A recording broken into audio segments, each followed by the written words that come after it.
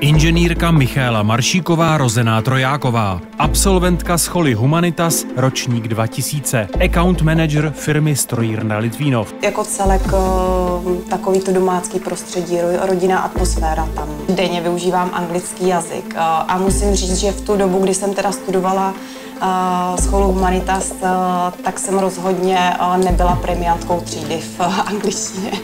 Nejvíc asi vzpomínáme všichni na vodák, vysokohorskou turistiku, na uh, lyžařský výcvik a samozřejmě na chmel.